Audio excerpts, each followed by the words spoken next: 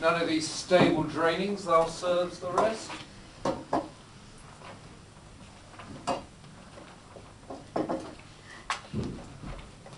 I hope this meets with thy approval, sir. Hmm. It hath some merit, I cannot demi- de- den- deny. Prithee, madam, how many barrels of this brew doth thou possess? How many wouldst thou need? Enough for a reception. A wedding reception. May I congratulate thee, sire.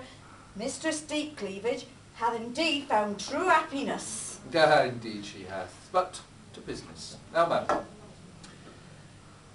contrary to popular belief, I'm not a wealthy man, but yet I wish to do the best for my beloved.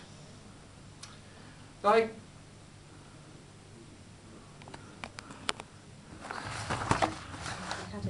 Yeah. Uh, the guests, being mostly my tenants, Yes. and unused to the potency of thy brew, will soon succumb, leaving little need for much food. But I have a reputation for food. Uh, I have heard, so let us not tempt Providence by putting it to the test. Two barrels of thy brew, and a dozen of those cowpats that serve for pies should suffice. Well, when will the joyous occasion be, sire? Some days from now, so perchance I could s- scrape some of the muck off this floor, and between the hours of midday and two o'clock on that day, eject the undesirables. Uh, Undesirable, sir? Yes, this crowd of cretinous oafs that do drink here.